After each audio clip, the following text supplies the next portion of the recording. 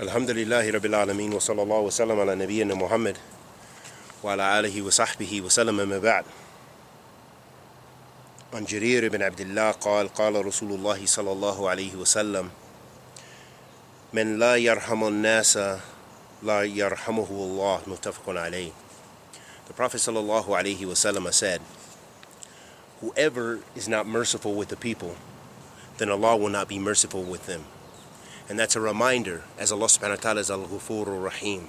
He is the most forgiving or the forgiving the most merciful subhanahu wa ta'ala. So we should strive our best to be merciful to Allah subhanahu wa ta'ala's creation.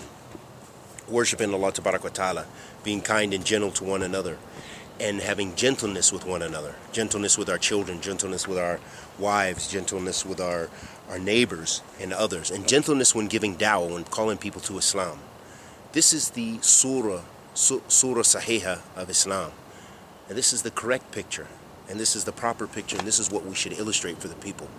And may Allah subhanahu wa ta'ala bless us to be of those who have mercy upon people and who Allah subhanahu wa ta'ala has mercy upon. وصلى الله وسلم على نبينا محمد وعلى آله وصحبه وسلم